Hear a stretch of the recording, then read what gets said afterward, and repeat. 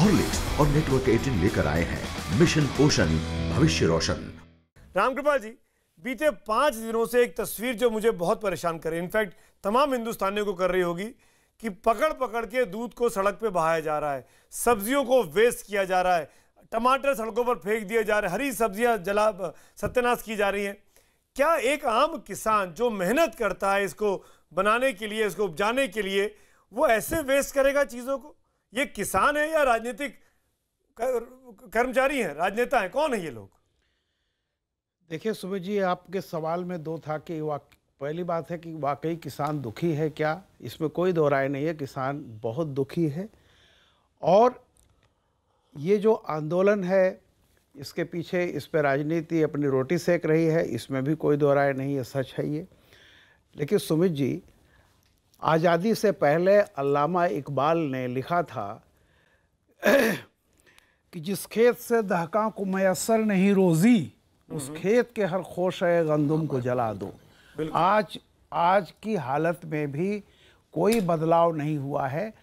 सारी पार्टियाँ इसके लिए दोषी हैं। अपराधियों का एक संयुक्त परिवार की तरह इस देश की राजनीति की गई है। किसानों की समस्या को इस तरह से पीसमेल में आप नहीं कर सकते। होना ये चाहिए था जिसकी डिमांड भी होती रही है। जब तक एक राष्ट्रीय नीति नहीं बनेगी तब तक ये जो धींगा बस्ती का खेल चलता है ना केंद्र सरकार कहेगी कृषि राज्यों का भी स्टेट भी स्टेट सब्जेक्ट है।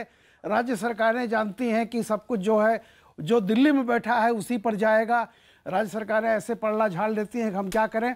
आज देखिए पंजाब का भी किसान उसी तरह से आंदोलित है जिस तरह से दूसरी स्टेट का आंदोलित है।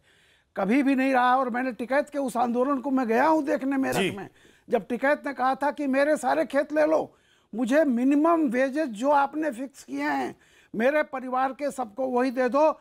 हम 18 घंटे काम करते हैं 18 घंटे काम करेंगे केवल उतना दे दो।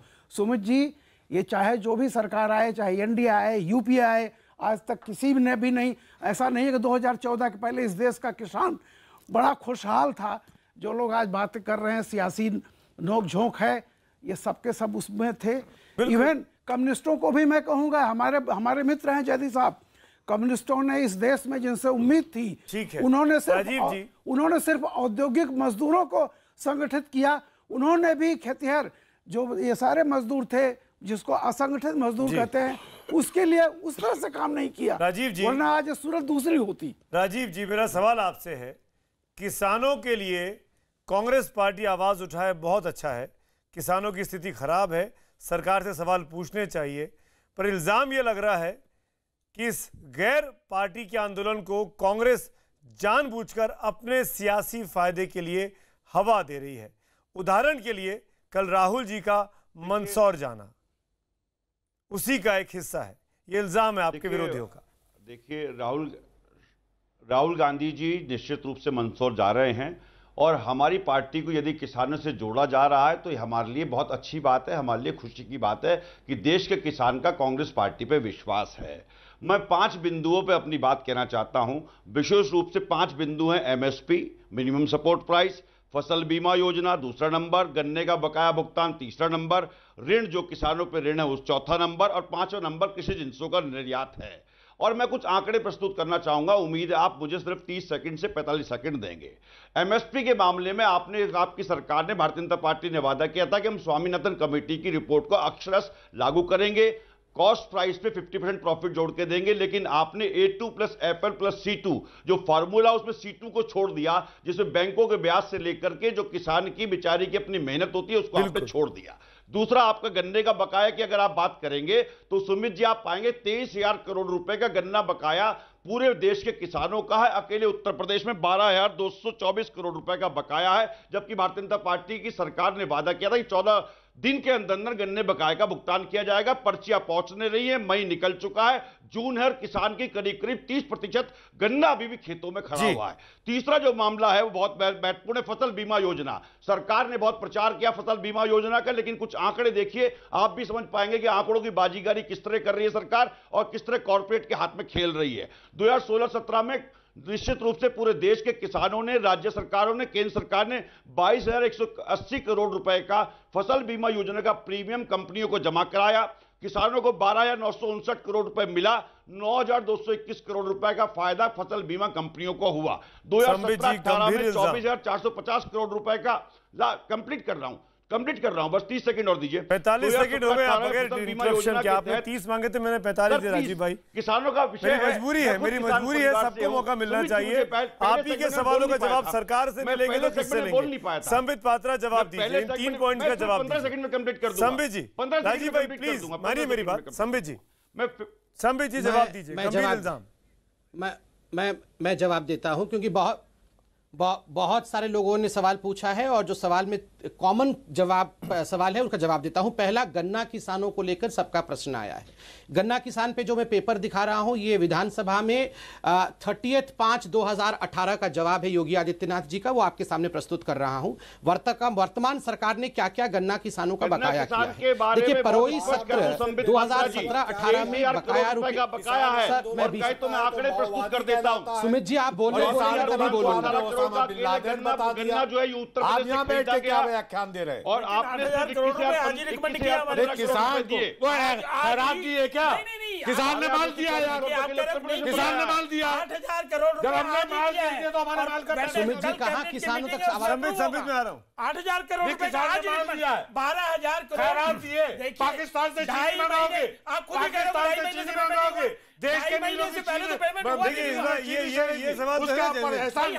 भाई पाकिस्तान से चीनी मंगाने की क्या ज़रूरत है? हाँ, हिंदुस्तान में गन्ना नहीं आ रहा है। हिंदुस्तान में गन्ना नहीं आ रहा है। सुनिए, सुनिए। इस सरकार- जवाब सुनिए ना। क्यों क्या? किया इम्पोर्ट ड्यूटी 200 परसेंट कर दी। सरकार ने कोई इंपोर्ट नहीं किया है। अगर 200 परसेंट इम्पोर्ट ड्यूटी करने के बाद कोई इंडिविजुअल इम्पोर्ट करता है तो करता रहे। हम क्या करेंगे? सरकार आप प्रतिबंध किसने अपने घर अपने घर चूड़ी का किसान नहीं, नहीं, अपने घर के बैठ किसान जाओ। हमने 200 परसेंट चूड़ी पहन के बैठ जाओ। अपने घर के किसान का गन्ना। पहले एक सौ इस बार क्या हुआ? इस बार क्या हुआ? गन्ने का प्रोडक्शन बहुत ज़्यादा हो गया। इसलिए ये प्रॉब्लम आ रही। है। इसीलिए प्रोडक्शन ज़्यादा हो तो किसान सफ़र करे तो सौ साल तभी किसान। प्रोटेस्ट कर रहे इसीलिए हैं हमने 120 परसेंट से 200 परसेंट कर दी ड्यूटी।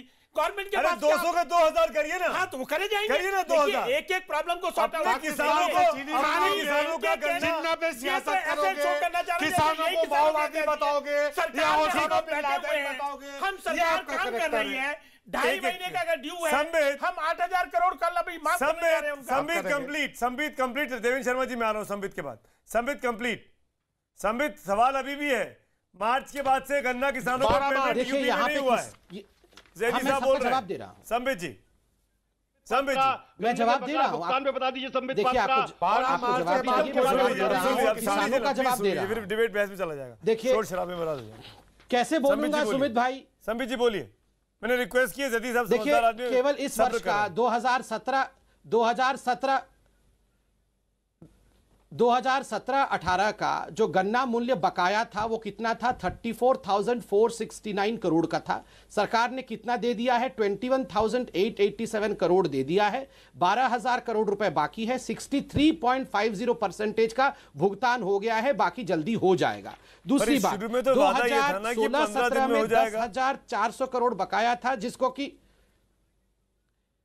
सुमित जी सवाल सारे मेरे से है आप मेरे को 30 सेकंड दे दीजिए सिर्फ़ आपको अगर मैं टोकूँगा नहीं तो चीज़ें क्लियर नहीं सुमित होगी। जी वरना आप दोबारा आंकड़ों के बीच में उलझ के रह जाएँगे करने जी। अगर अगर आपने पेमेंट कर कर दिया होता तो नूरपुर मैं राजा का रिज़ल्ट नहीं आता ना संबित भाई ऐसा वहाँ पे गन्ना मुद्दा नहीं बनता। ना वो मील कब लेगा? मैं मैं जवाब दे रहा हूँ। आपने तो किसान का मैं जवाब दे रहा हूँ मैं जवाब दे कब रहा हूँ। आपने प्रश्न पूछा जवाब दे रहा हूँ। देखिए ठीक, सुन लीजिए। आपको आपको आपको जान के आश्चर्य होगा। मैं जवाब आपका भी जवाब दे रहा हूँ सुन लीजिए।